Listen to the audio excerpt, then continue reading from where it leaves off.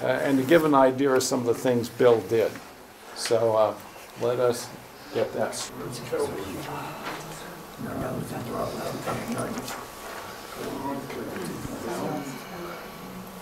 You guys probably didn't know it, but that was our national anthem over there for a year, rather than the Stars of Spangled Banner. So it was just uh, a different place.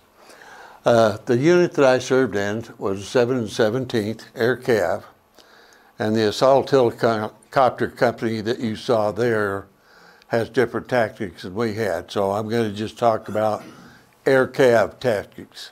Can anybody hear me okay? All right. So with that, this is what uh, the front end of a Huey. And these things right here were revetments. We had to park in those every night that kept the shells from damaging the skids. So that was very helpful.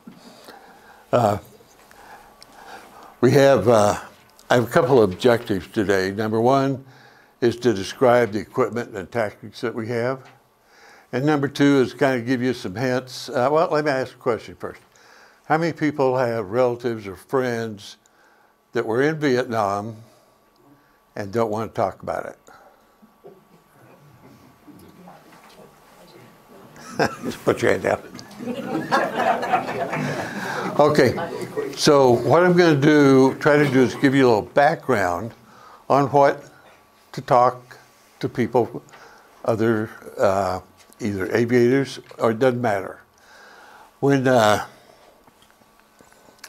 that was our uh, logo for the company, the 717th. We were the Ruthless Riders.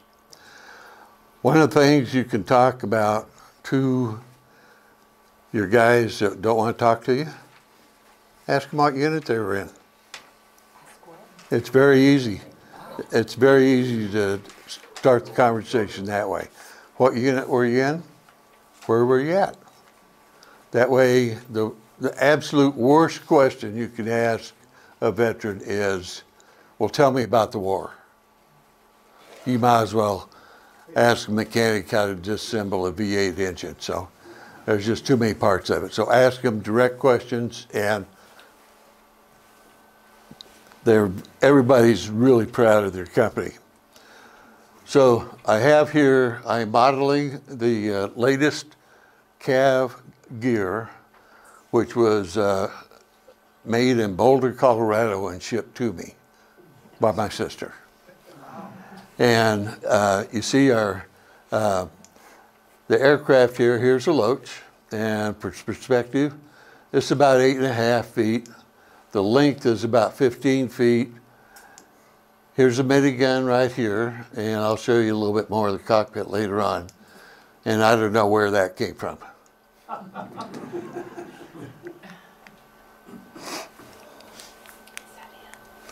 Uh, we were at Camp Enari, which is about where the E on Pleiku is.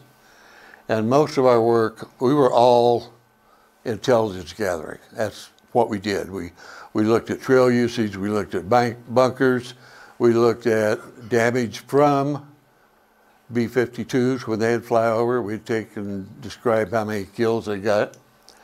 And the area that we primarily worked was up here in the tri-border area with Laos, Cambodia, and Vietnam. And after about a week, you don't even need a map. You just know where you're going to go. So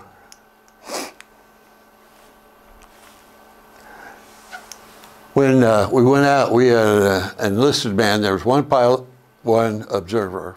The observer was an enlisted man, usually a sergeant or higher.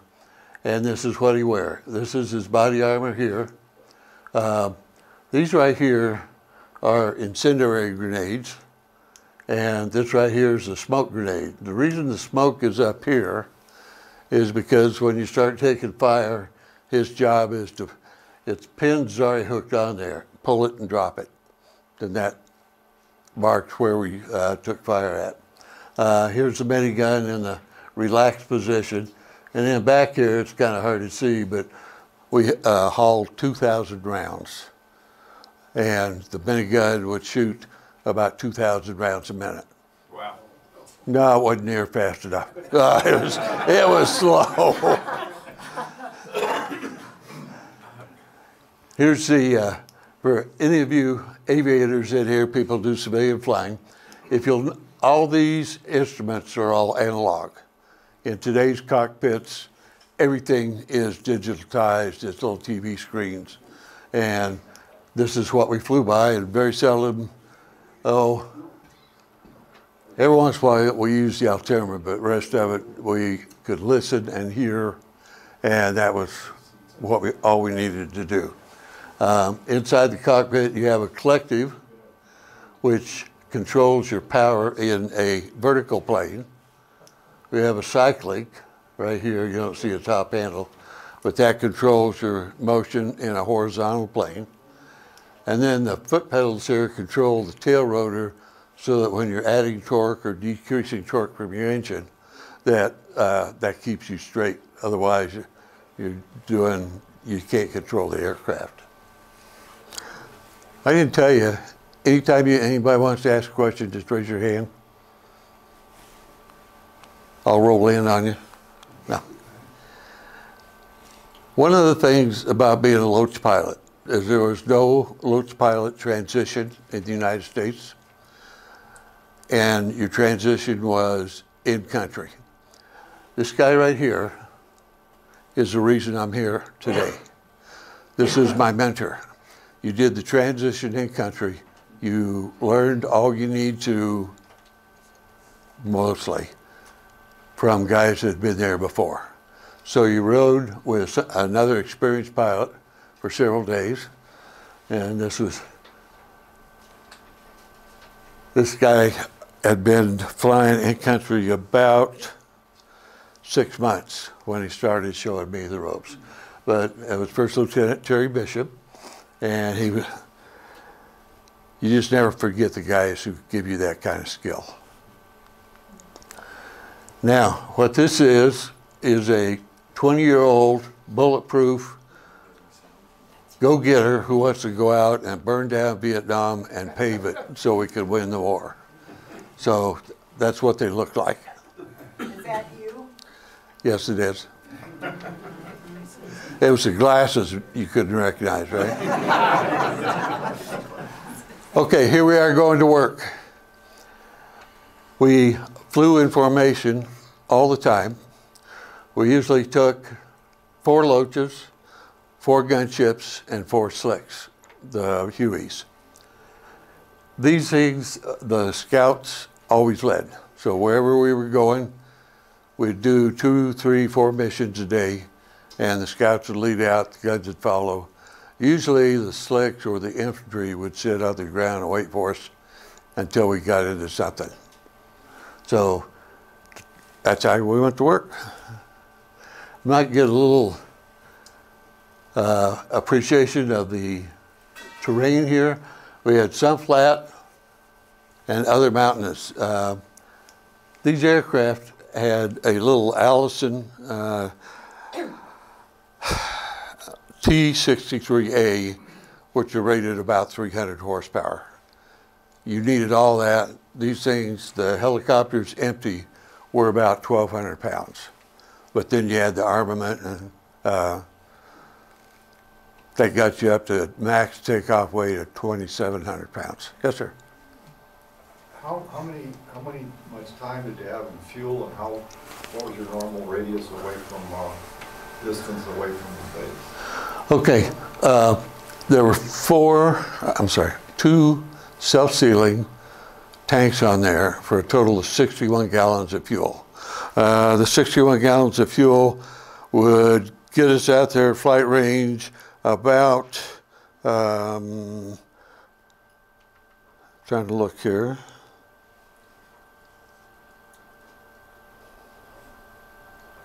Sorry about that. 380 miles one way. So we had a 380 mile range. Anything else? Were those the ones that got shot at first? Yes, we did. Here's our buddies. These guys would fly. Well, I mean, they had another minigun, and most of their their stuff was rockets. Uh, the reason the windows are open right here is you had to be air conditioned in there. And as soon as you sat down, you opened the windows because it just got hotter than a matchstick immediately. So you open it up to get a breeze through there. The uh, front guy, who was a pilot also, was the gunner, and then the pilot who controlled the rockets, everything, and back. The uh, design tolerances on this for you aviator types, the center of gravity demanded you have about 100 pounds in the front seat. Otherwise, it'd just tip up and you couldn't fly it. So you non-aviator types don't appreciate that. That's, Is that a Cobra? that was a Cobra, sorry. We call them Cobras or Snakes. In fact, there's usually two names to everything, so. This is what we call a slick, and you can see a squad unit that was tra- being transported out to the area of operations. And usually they would fly out, first flight of the day, park at the POL area, and we'd call them in as needed. So here's one of my buddies, and these are rockets going down to, you can see the smoke right here. If you're live, you could see it. And they're dumping ordnance in there. These flew, these flew in twos of two also. The two, uh, you had a lead and a wing.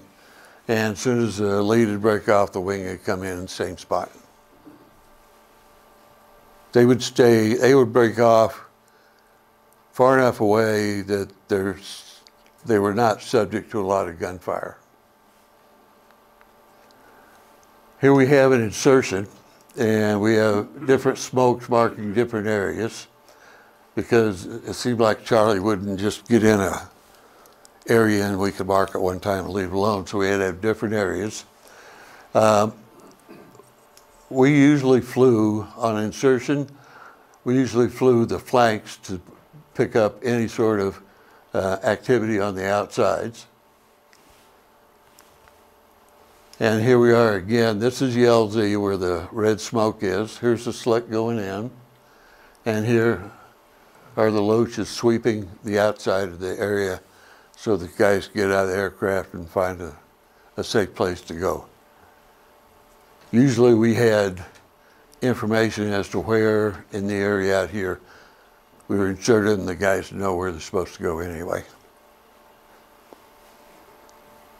You guys are awful quiet today. Okay, I have a question. Okay. Okay, so on that slide prior to that, um, uh, smoke, okay, so was that strictly smoke or was there some like tear gas or something in that where there? No, th- this is just to mark the area. And remember those little canisters? That's what was, Throw one of them down so there wasn't anything to hurt anybody or uh, stop anybody. it's just a marker, Yep. okay. Who's taking the Yeah, go ahead and ask him questions. Pardon? No, you have a question here. Yeah. Did you take the photographs that you're showing today? No. Who did? It's, uh, you can see where I am up here, and I'm the only pilot in the aircraft, so I have to keep all the hands on the aircraft. So I'd rely on one of my buddies. I'd give him a case of beer so I could get his photographs, but it worked out fine. No, I didn't take these, and that's why I don't, there's no action shots of what loaches actually do, because you're kind of busy at the time. I Well- wanted to know who took the picture, so. Who took the answered picture? Okay.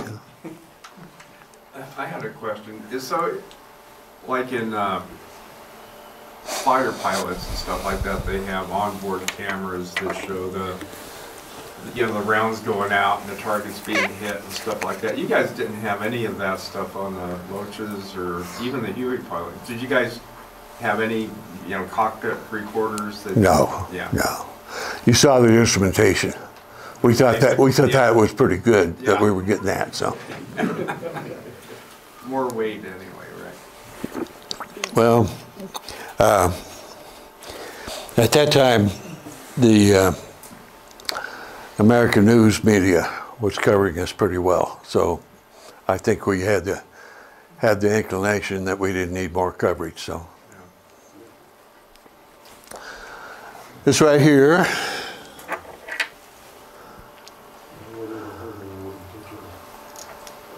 This right here is what happens when you get too low and too slow.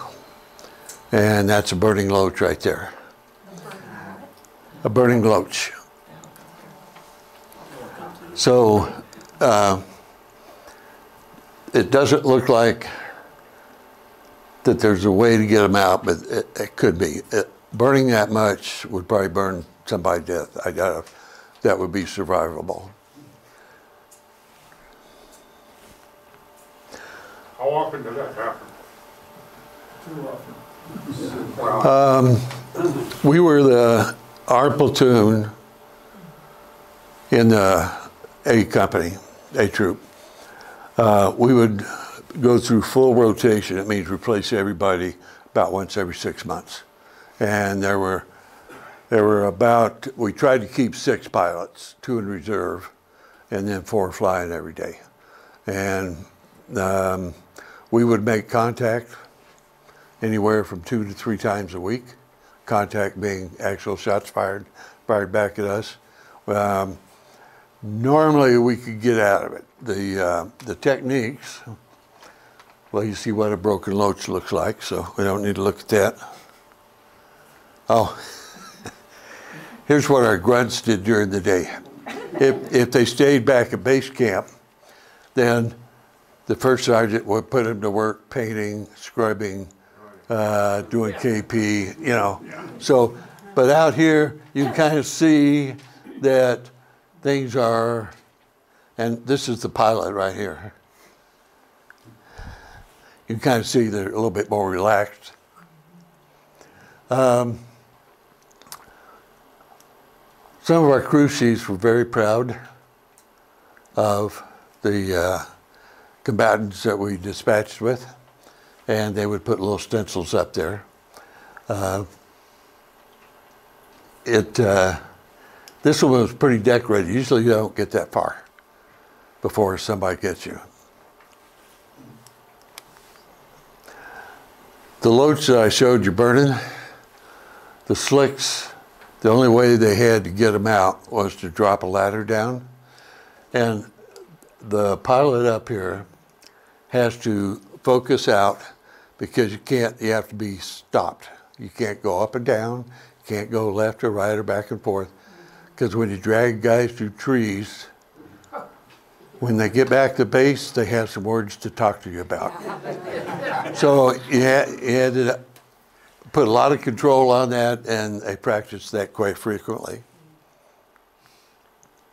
Some of the other aircraft we used um, around the country. This is a Caribou. We didn't have any of those in our units. This is an O2. The Air Force flew these, and they were uh, forward fire directors. It was these guys that helped us a lot. Let's say that I was down in the trees and somebody was shooting at me, and I decided it was more than 100. So I would leave, drop the smoke. Our C&C ship, which would be flying up about 3,500 feet all the time, would call one of these guys and we would get, get jet support from one of the coastal areas where they, they had the jets. Jets could be on station in uh, about 8 to 12 minutes. So we were very happy to have these guys, and he carried rockets also. He fired additional smoke because by the time they got there, they were gone. So we would back off, the jets would do their thing, and we'd go back in and take a look and see what, what damage they did. We also reported on how many kills they got. We usually overestimated those by about 100%. The reason was, you know, I said that 8 to 15 minutes. The other troops that wanted jet support got jet support an hour later. So it was up to us to make sure the jets were doing their job, and uh, we recognized that. And they liked that, and that was their, that, that's when they got their little stencils on the side of their aircraft. Uh, one of the uh, workhorses, the C-130, And then I believe that's a, a 141? 140? Yeah. And this was down, I was, uh, I was getting, getting to go on R and R here. And, uh, I was, I believe I- that this is out of, uh, Saigon.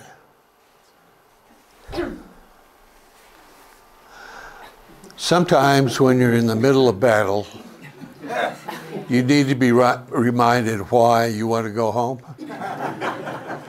So this was a good way to remind the guys that you don't want to stay there. There's stuff at home that you want to go see.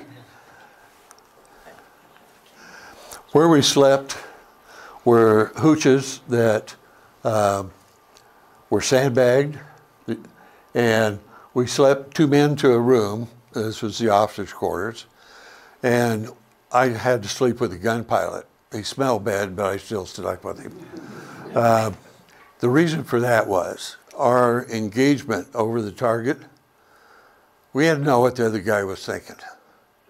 So the gunships and the Loach pilots slept together, ate chow together, and generally got familiar with others. Oh, idiosyncrasies would be a good word. This is wash day. You wondered how we kept our clothes clean. We hired indigenous people to come in and uh, wash our clothes, which needed it every day. And I tell you, it's, for the money we paid them, it was well worth the, the uh, work that we got. And here we got our boots polished, so we looked like officers. Oh, this is the officer's latrine right here.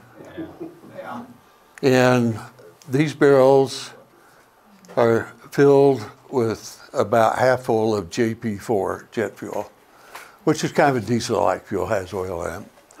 And then they would be slid underneath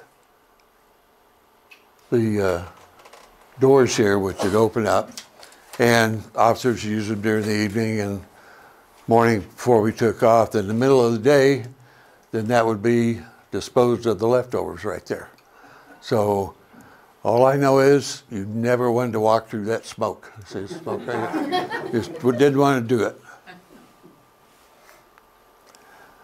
Thanks to people back home, we got to celebrate Christmas. Don't ask me where you get a pine tree in the middle of a jungle, but you do. And then uh, we had, we built all this stuff out of the those rockets you saw being fired.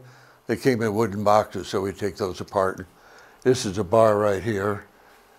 I don't know that it ever got used though, except every night. And I had, uh, my sister sent me a, the poster here just to remind me that I was bulletproof. Every once in a while, we would get a nice sunset and just remember how things were. And I, I thought this was particularly pretty. We were changing areas of operation and we were coming from this direction and ended up over there. But this village right here, this is their open air market. Normally I would be up about 3,500 feet, but the distance was too short. And uh, the reason I was looking this way was we would very often get gunfire from these hooches. So it was, it was not a good situation to stay in very long. Here we were going home, and I took this picture. Uh, the areas that we worked like this, uh, we would get a military grid takeout, and we would fly in a pattern to cover everything, looking for the bunkers, usage, uh, pack animals. We ran into some of those elephants sometimes. Um, we would, uh, to work the area, we would be, where I like to be was my rotor blades were slightly below the treetops because that gave me the best shot for if I heard fire to move. So you had to know where all the tree tops were, because if you hit a tree, you were going down. So he stayed in the treetops for cover and had to move in and out. Uh, we would, uh, our observers would help us go back and, and find what we were looking for intelligence wise. But during the playtime, oh, wait, we didn't have panic time. During the return to the uh, POL point to get refueled, they had a bunch, there was usually some birds and some monkeys in the trees. And I would use the birds for tactical practice on handling the helicopter in and out. And the observers would use the monkeys for practice, which I thought was very good because it was a smaller target and I wanted to be accurate when we- they were shooting at something. So I think that's it. So I can open up for questions. I can, yes, sir. Most of your time then, when you were flying the Loach, uh, was around, your base camp was Camp Enari? No. We, uh,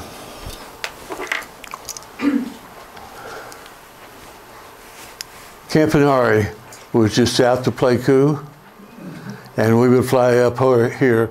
Doc had a refueling base, and we would work the tri-border area, uh, sometimes as far as, uh, Doc, I can't remember. Can you stand on the other side of your picture and move those chairs? Because we can't see on this side, we can't see what you're talking about. Thank you. Okay. Base was down here, Camp Enari, out of Dak To, and then we worked the tri-border area. So, uh, about 50 kilometers. Yes. How many missions a week or a day, or did you fly? How many, how many missions a day or week did you fly? Okay, like we operated 24/7. 24/7? And the routine you saw with the, the uh, loaches going out in formation happened seven days a week. With six pilots, um, there was a lot of times that I flew uh, over 140 hours in a month. Commercial pilots are grounded at 80 hours a month. But at 140, uh, the old man had to give you clearance to fly some more. So we were always short of pilots, so uh, we would fly usually two missions in the morning and two in the afternoon because we would replace the other uh, team that was out there. And how many, did you have one tour over there or multiple tours? No, I just had one tour in combat. Then I transferred down to Vung Tau and did uh, maintenance. And I was a test pilot down there after we got through rebuilding uh, helicopters that released them. Northern duty assignment, was that 12 months or like how many? No, and uh, we were at, down here Ban Me Thuot, and we were down there while I was in the unit. They did, after I left, they did other stuff, and um, the Ban Me Thuot was where um, we were uh, put in a, a uh, LRRP camp, long range patrol, and we built our GP mediums and sandbagged them. And we flew out of there for probably about two months. So we slept on cots, had a tent. Um, we didn't have indigenous people helping us with their laundry or boots at that point. They, uh, they wouldn't uh, come out there, so that's fine. And we found out that during the rainy season, you can't get your clothes to dry outside. So if you hang it, put through your fatigues on the uh, concertina wire, it would, they would never get dry. So you would hang them up inside the tent, leave the tent flaps open, let them dry that way. Yes. So helicopters were only used for combat, is that right, in Vietnam? I'm just curious. Our first mission was dust off, which is recovery of wounded soldiers. Okay.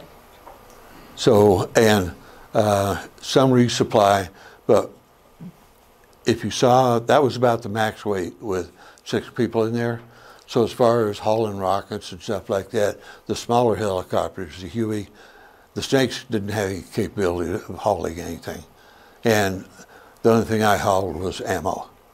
So I have a question. So how many, you said you had a platoon, six people, is that right?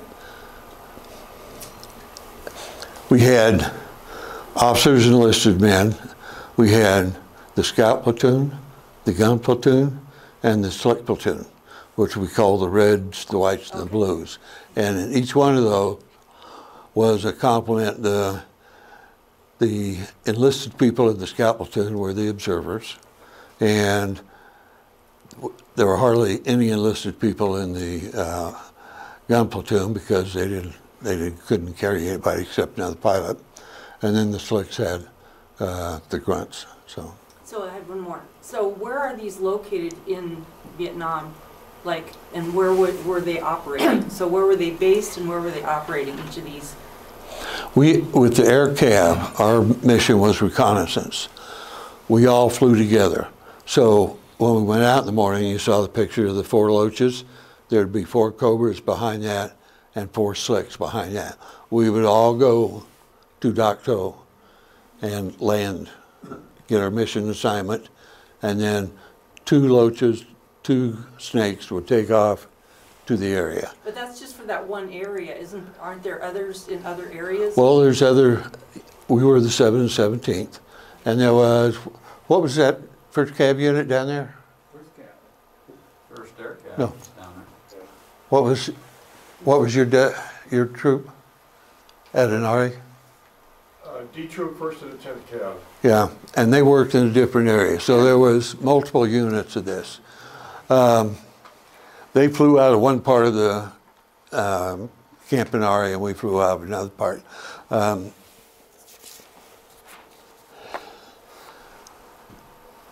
The, uh, there were, these numbers are approximate, because I looked in a couple of different places to get a couple of little different numbers, but there were 1,419 LOHs manufactured and sold to the U.S. Army, and they came out of the Hughes Aircraft Plant. Uh, 1,800, I'm sorry, 842 of those were stayed in Vietnam. Uh, that's about 60% down rate.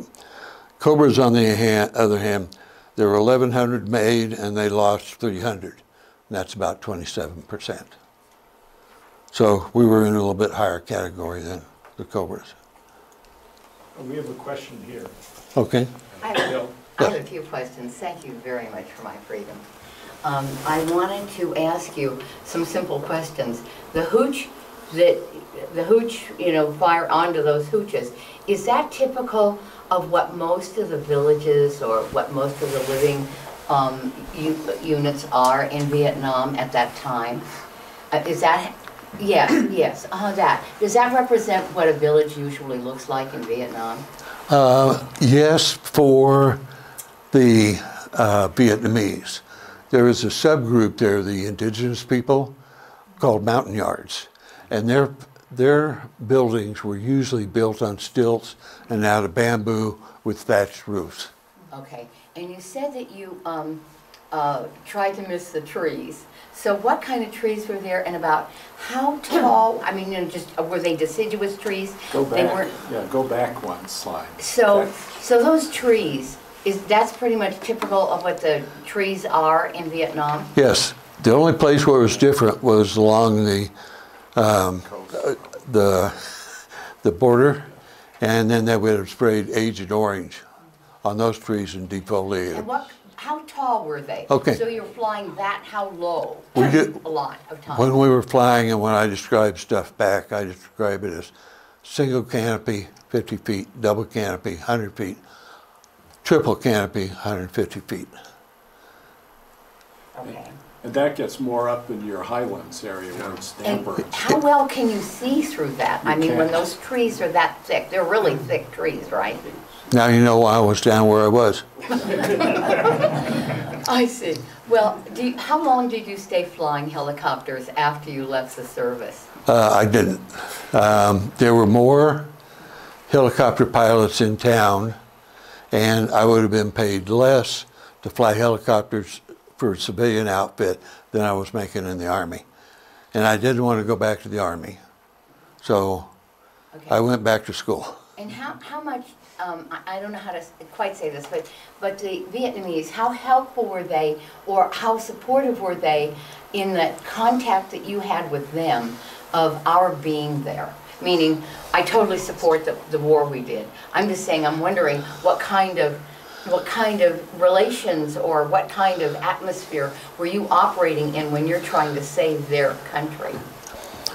The pictures that I showed of the laundry and shoes being done. Was generally the only contact we had with Vietnamese inside the camp.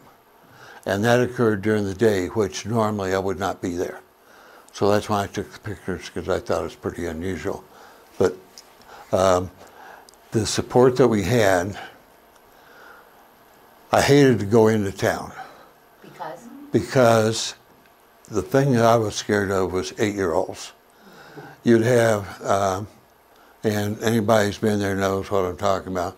They would hand an eight-year-old, and they would come up to us because a lot of guys gave candy, and they would have a grenade with a pin pulled, and they were told by the guy that gave them the grenade to hand it to the GI over there, and so an eight-year-old can hand you a live grenade. Just scared me to death. I didn't, I didn't go to town into Pleiku unless I absolutely had to. And what'd you go there for? Uh, usually it was pick up uh, supplies, and supplies were food and uh, building supplies, replacement screening and stuff like that. And the eight-year-old didn't know they were gonna be blown up too? No, they did not. Yes. And the people that would talk to you would be dressed in the darker colors and straw hats. The people that would not talk to you were the upper class that wore all white, and they just uh, they would they would cross the street to go around you. But that's based on very limited experience. Well, but you were there in sixty-eight, right? Yes, 68 and most of You were there 69. until seventy-five, or what, what time? Well, there were other people that placed me. I, uh, I know some of the guys that came in that actually were in A Troop at 717th that uh, came in about a month before I left, but he was driving slick, so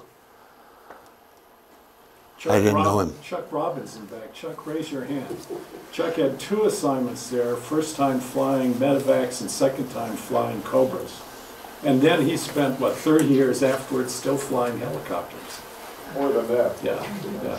Yeah, he's got quite some stories. Can you tell us what you ate in various places? How did you get meals? we would make reservations at the restaurant.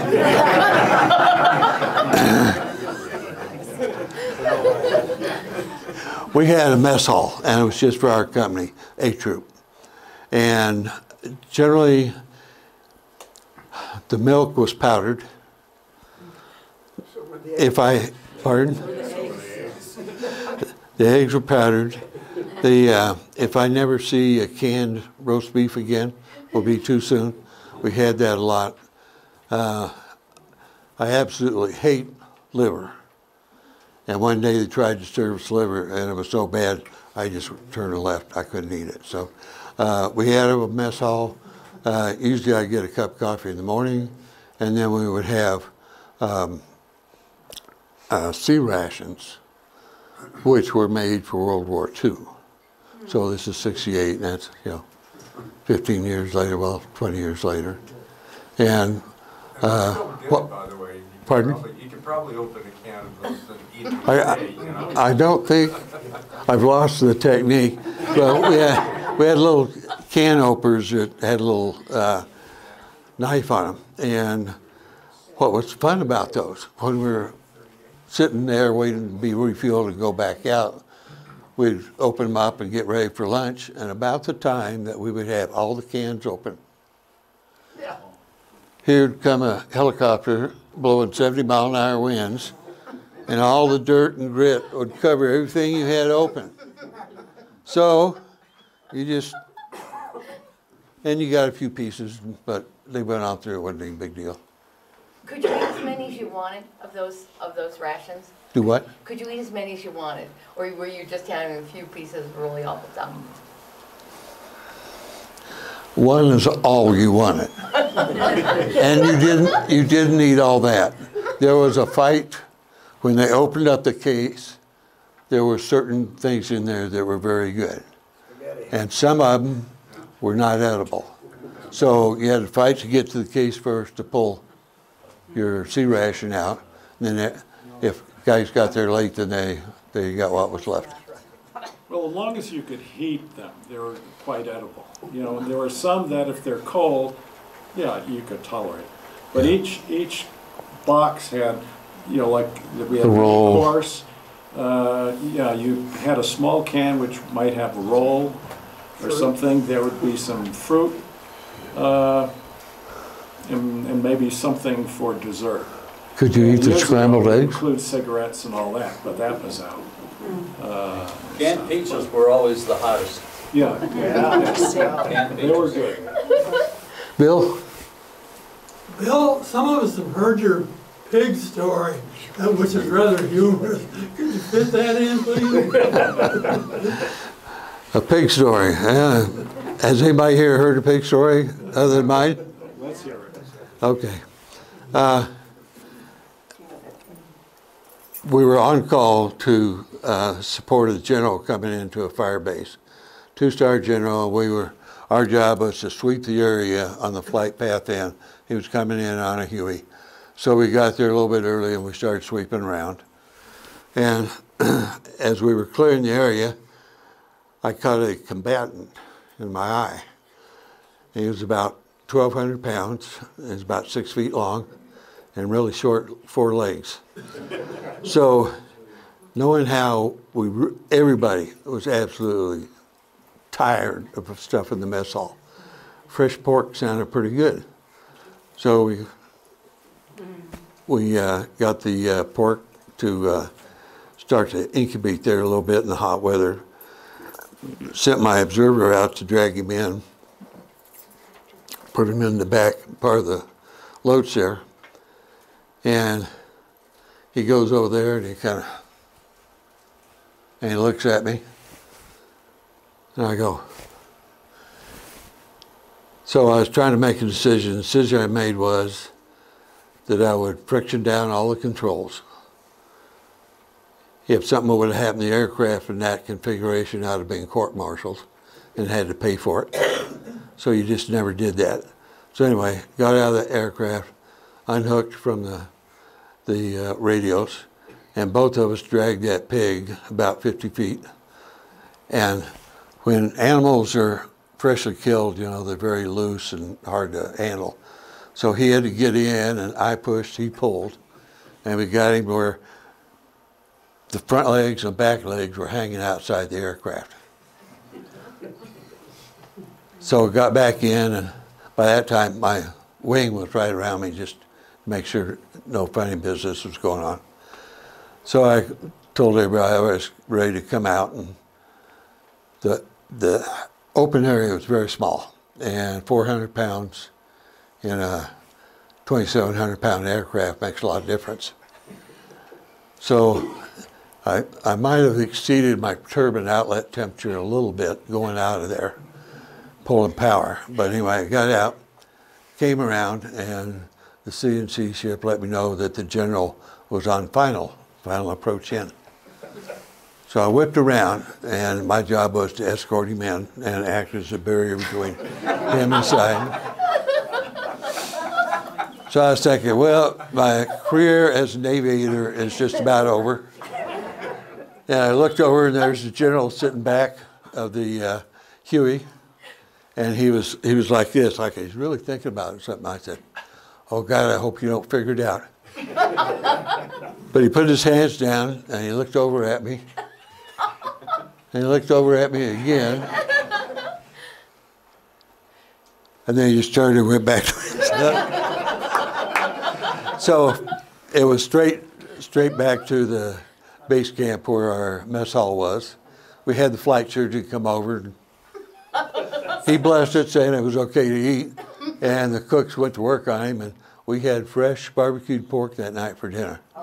Everybody was very happy with that. So that's that's my uh, pig story. You said something about your career in the Navy being over. Were- Were you in the Navy? No, I was not. I was never in the Oh, I Navy. see what you're, you, you were It's in your army. As an aviator. Yeah, as a Navy. Aviator. Oh, as a- Aviator, yeah. Yes, sir. I've heard that Hueys are very durable, take an awful lot of fire and still get back. How's the Loach? How durable is that under fire? If they shoot your engine out, uh, you go down. Um, the two, one time I, took my engine out, and I went through triple canopy jungle. Knocked out for a half an hour. We were um, supporting a fire base that's being overrun, and that's why we were called in. My job is to go in, separate the friendlies from the enemy. The trip through the triple canopy jungle, the last thing I remember is starting to settle in. If you had any forward airspeed, you'd rip open the fuel tanks on the bottom. They would hit that turbine engine and uh, nobody could get you out. So I wanted to cut, come straight down. Apparently I was able to do that because when I woke up, I was up in the, inside the perimeter of the artillery unit and I was laying next to a log, and I hear somebody saying, you know, I don't think he's going to make it either. And about that point, I finally woke up and recovered, and he was looking at me. I, I had some blood on me, and uh, he didn't think I was. Of course, when you're out, you're all limp and everything. So, so to answer your question, I thought it was very durable in that occasion. The two other occasions, they actually shot holes in my rotor blades. It has four blades, and the vibration got so bad. Uh, on one of them, I lost about eight inches of the tip. I got on the ground. The guys came in, picked me up, and uh, we went on. They sent maintenance aircraft out. Same thing happened to the other one, but I got shot closer to the uh, hub, and it stayed on. But the vibration was still bad enough that I didn't want to fly it. I was afraid that whole blade was going to come off, and I didn't think it was going to fly very well on three blades. So, I expect you'd heard that rumor from somebody. well, um, it's a very simple design. The hub and everything. There's no grease zerks anywhere on that aircraft. You have oil in the transmission and in the tail rotor transmission and everything else is put in with bolts. Um, the aluminum airframe actually comes under here, and it's kind of an A-frame that goes around the windows here. Yeah, and I drop this, you'll kill me. Don't drop it. the frame comes from here down to here, around here, and then this back here comes up and goes up here. So that's the frame. The engine sits back here. Pilot observer sit up here, and that's where the ammo is carried. So, from my point of view, well, I took more bullets through the front plexiglass and through the sides uh, that didn't hit the engine, and it was fine to fly.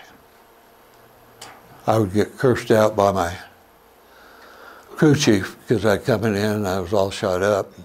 He knew he had to stay up all night to fix it so it could be taken out the next day. But um, crew chiefs are somebody that you, uh, when you get back, you hug them because without them, you wouldn't have had a safe flight. And the other thing is, the reason that you develop such an affinity for the other guys is because your life depends on them. Likewise, them with you. So it's a reciprocal relationship. They, it doesn't matter what job you had. You know, you can be sitting there in the latrine and you got a roll of toilet paper in your hand and you think to yourself, how did that get here? Why do I have that? And you start to appreciate all the other guys who were doing jobs that weren't combat. But I'll tell you, it was awfully nice to have toilet paper. Yes. Yeah. Um, in the three times you went down, number one, I think we're all grateful you're here. Number two, did, uh, repair group come in and repair the helicopter at the spot it came down? Or did they, what did they do with it? Yeah, um, actually, the Hueys stripped down and half a load of fuel, come out and sling it out. So they would, uh, they would come down, drop the sling, and generally, uh, depending on how hot the area was, because they took out a couple loads with them, then they could hook onto the mast and uh, just bring it home. And sometimes if it shot bad enough, um, we just left it there. Did your partner go blow it up? Yeah, we blew it up, yeah. We didn't want anything left there. And that magnesium aluminum alloy in there burns very nice, about like your sparklers on your uh, Fourth of July celebration. That scenario that you just described a few moments ago about getting shot down, Yes, is that how you earned your Purple Heart? yes. No, well, I got a Purple Heart for that, yes. That's where I earned my Distinguished Flying Cross was going back in and separating the, uh-huh. Okay, the friendlies from the enemies so that the other guys could go in and absolutely. Well, you were pretty decorated when you got out of the military. And I was I was at the wrong place at the wrong time a lot of times And lived.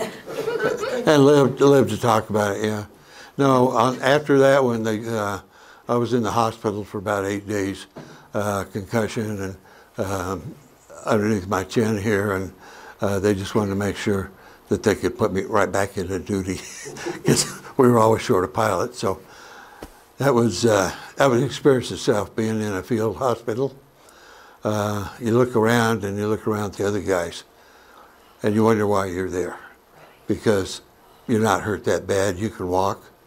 You know, you, you can get up to go pee. I mean, there's a lot of things that you can do, and when you're you're there, you're feeling bad because you know you're taking up space for somebody else.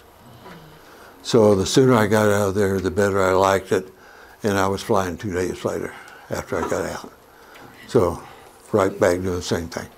When you got out of the military, did you get out as a, a warrant officer too?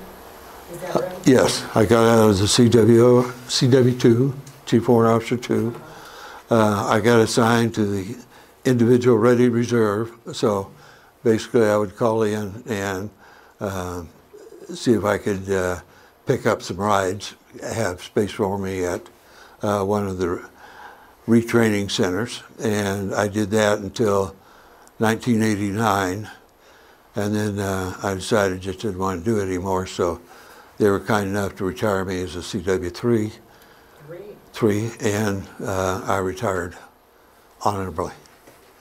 Bill, did, did, did you take a picture of the pig?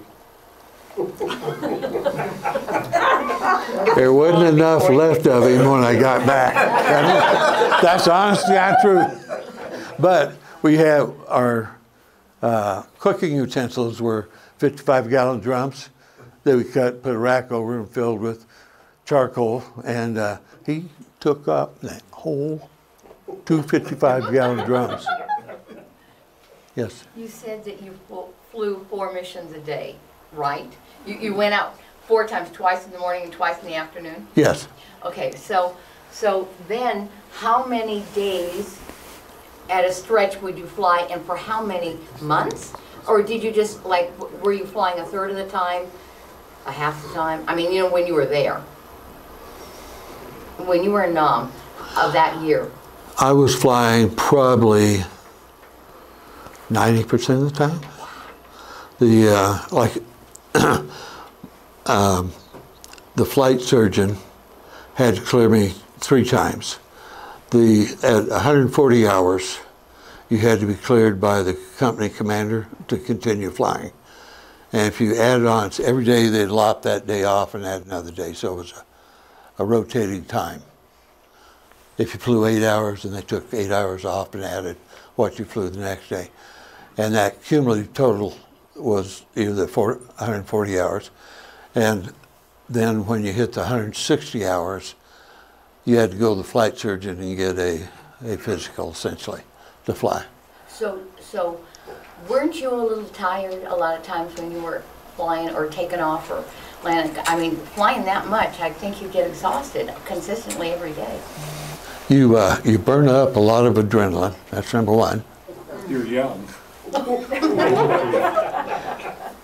you, want me to sh- you, did you see the picture of me when I was? Well, I'm sure everybody else wants to see it again too. Yes, yes, yes. Make sure you check your warranty status. Yeah.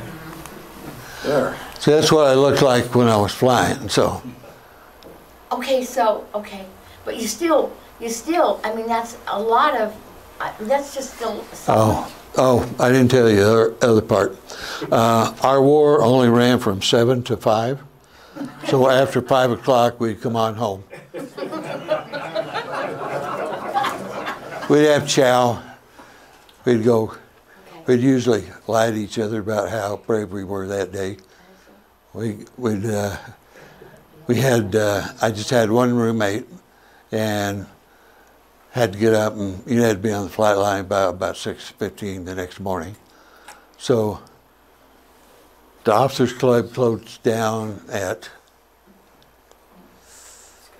it was nine thirty or ten, I don't remember. But they would show a movie. And it was it wasn't like the entertainment that I showed but oh you weren't here, were you? It wasn't like the entertainment that I showed before. But uh, it was just, you know, regular stuff. And were you saying that about a third of you didn't come home that were pilots, or what? Um, Uh, what- what- I didn't, I didn't look up the number of pilots, but the Loach pilots that stayed there were qu- quite high. The death rate, Yeah. thank you. I was proud to say I didn't lose myself or my wingman pilot or either of the two observers, so everybody came home. And you have a total number of flights that you flew. I have, you get a, uh, what's called an air medal for every 25 hours of combat time. And I had, well, we quit counting, but I had over a thousand hours of combat. And that's flying out there, flying back. Not while I was eating lunch, I had to take that time off.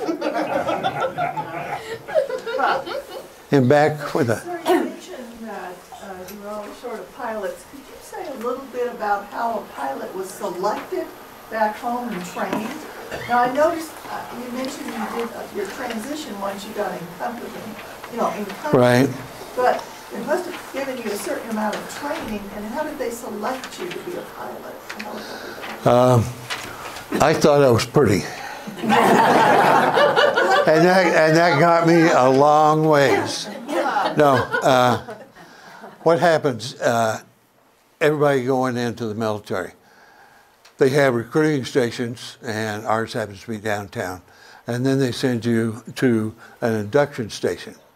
The induction stations where you get your first haircut, you get clothes, you get uh, a bunch of shots, and they give you a whole bunch of written examinations. Well, one of the tests they gave you is kind of a general IQ test.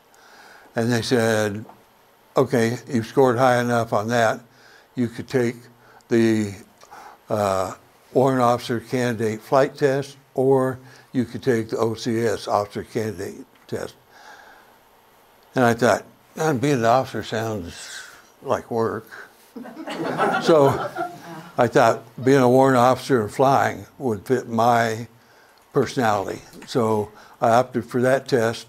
I scored high enough on it that I was placed directly into a unit that was uh, specially trained that went, you went from there straight to helicopter school. So did they choose me? Uh, by scores, I guess would be the best answer. And I didn't, I didn't act up bad. I, they put us in a, ba- in uh, basic training. We had a third draftees. Where, where, where did you go to basic? Um, I, I went in at Fort Leonard Wood, got my haircut and everything, and I went to Fort Polk, Louisiana. And then I was, uh, there was a bunch of National Guard in there. There's some bad stories about being in with the Louisiana National Guard. Those guys talk about things that I cannot talk about in this room. Which led me to buy a lot of soap, because if I dropped it in the shower, I would not pick it up. I slept with my covers tucked in, because I didn't want anybody to sneak up on me in the middle of the night. Now, the guys who've been in know that that- that's all, just funny games. But, uh, From there, I went to, uh, I went to Fort Walters, Texas, and was put into a, a unit there where we did half-day flying, half-day schooling, learned how to be an officer. Anyway, what to get rid of, what to stay out of. And then uh, the, that was for the primary training, where you learn to fly, you learn basic aviation rules. Then I went to Fort, uh, I'm sorry, uh, Army Airfield, Hunter Army Airfield in Savannah, Georgia. And I went through about four months of training there in tactics. And we flew Hueys all the time. So we had not flown any Hueys until uh, I got to uh, Hunter. So that was a learning experience. You had to learn how to do crash maneuvers and all that stuff.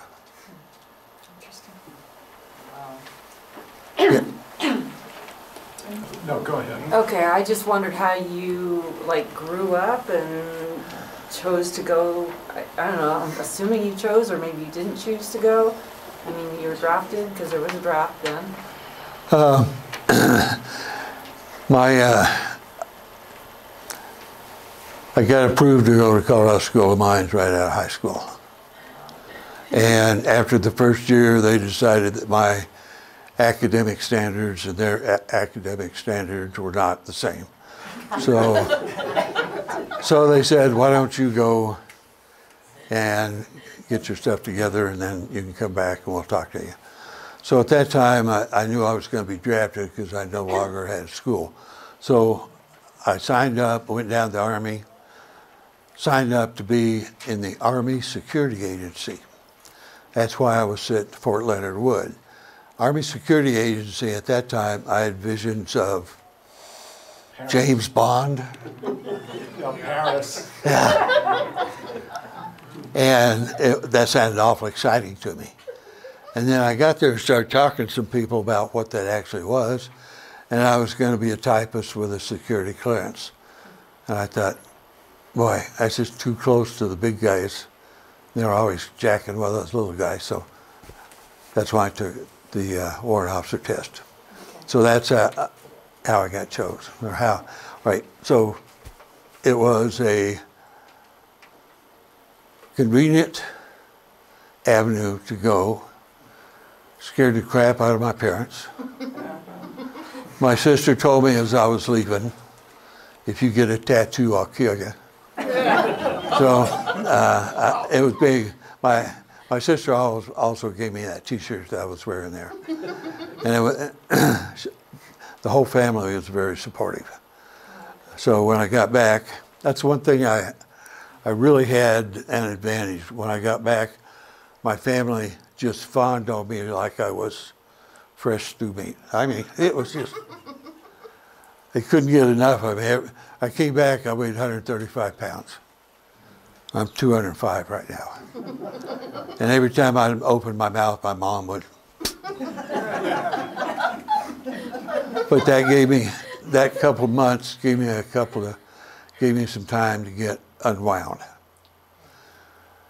And that support continued on for many years.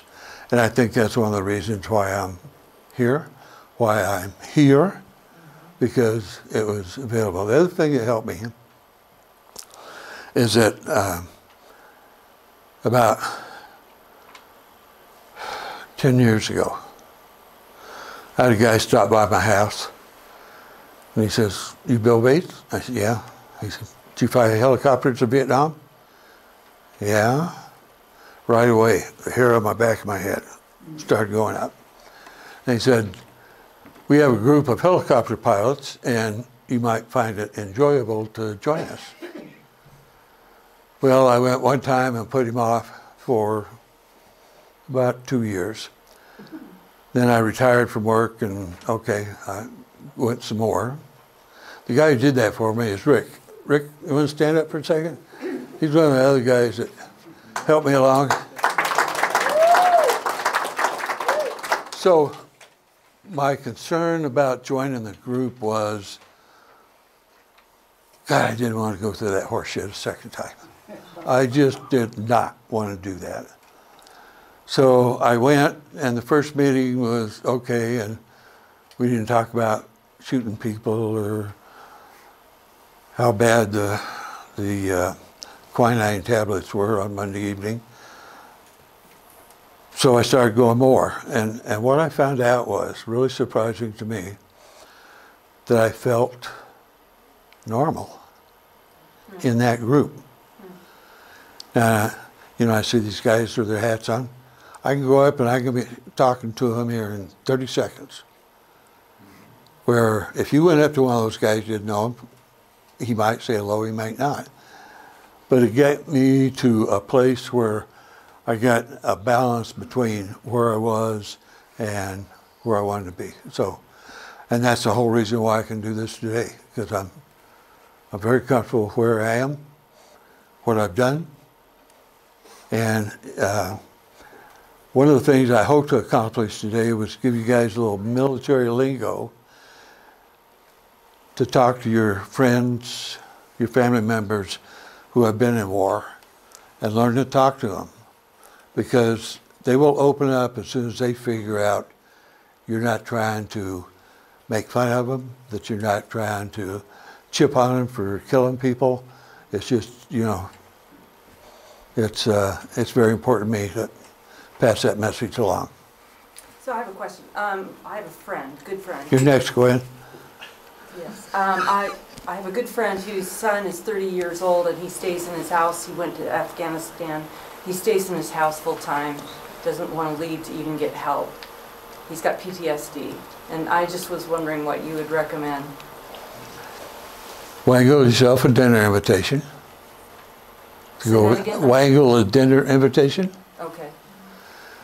Okay. See if you can What- get them to visit the museum. Yes. And just, uh, you get a chance to talk to Yeah. other veterans Right. who've done similar, and we'll get you connected with Greg's group, and there's a lot of support there. Okay. But you're right, sometimes it's difficult to get that first step. Yeah. Ask him what unit he's in. Yeah, yeah, I know. I wrote that You've down. already, uh, all right. Yeah. And then ask him what he does. Just say what, and if, and if he balks at that, then just say, what was your most fun thing you've done? And he'll have something. He may, may not be a pig, but he'll be close.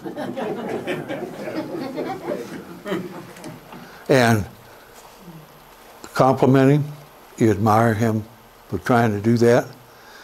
And then it's tough to come back, but you're here with him. Start there, and then just kind of work off that. If he gives you any feedback at all, just take the path that he leads you on. Also, the um, VA hospital has a PTSD department. There's plenty of things available. Mike knows more of them than I do, and uh, the guys around here know that stuff. So we're here to help. We're here to support our fellow brothers, brothers, and we would enjoy the chance to do so. Yeah, Okay. in fact, Greg? Yeah, I I think I'd add to that, that if you can find out what he did, Yeah. chances are real good we can reach out and find somebody who did that. Right. Okay. But we've done a fair amount of that, connecting people who did the same job, because then they really relate. So, Okay. Thanks, I appreciate it. Has he, uh, has he went to the VA yet? Uh, Has not gone to the VA yet. Yeah, they've got several things here in uh, Boulder and all around to help him. And also if he goes to Kim Hutchison, the gentleman's gonna be here the nineteenth, You'll put it into the government, they have a pretty good check out pds yesterday. Thank you very much. But quite often, you, I find, it you really need to connect informally with another veteran of kind of your same era. That's what I'm thinking. to just talk, because personally, uh, and others I've known, to, you know, get into the VA system, that's a much more formalized structure, and sometimes you just need to talk to someone. Mm-hmm. Thank you. So, Bill, well, thank you so much for sharing your story. Okay. Do you want me to take this off? Oh, I finally get one, huh? The only oh. thing I was just gonna add is, I was with the 25th Infantry Division, and we worked very closely with a group like, you know, Bill's, because the Loaches would be flying out there over the dense jungle. That was the entertainment I was talking about, sorry, Mike. But they'd fly over the dense jungle, and we'd be looking for logistics bases or regimental headquarters for North Vietnamese and stuff. Flip one more, or a couple more. And it's the Loaches which would kind of find them, because they'd be shot at. And then typically, along with the Loaches, the Cobras would be there, you'd shoot it up. If it looked like it really was a big base or something, then you often would bring in the Air Force to bomb it. Hmm. But then, if it looked like you really needed to get in there and find out what's going on, we'd be called in, whereas combat engineers. Hmm. And they would fly a C-130 over the target area, drop a 15,000 pound bomb into that jungle. It would create a hole in it. And then we would go in with the first helicopter or two with infantry and then engineers with demolitions, uh, chainsaws and stuff to expand the LZ. And as soon as we expanded a little bit, you'd run around with demolitions and blow up everything you could find. Uh, And then eventually, you know, more infantry would come in and you explore that whole area. But again, you're working all together with all, Yeah. all three elements of that. And not to mention the Air Force and stuff. Well, we would even call in artillery sometimes too, Yeah, so. It was a group effort. yeah. So anyway, thank you very much for joining us today. And uh, please come for Tim Hutchinson and our other speakers.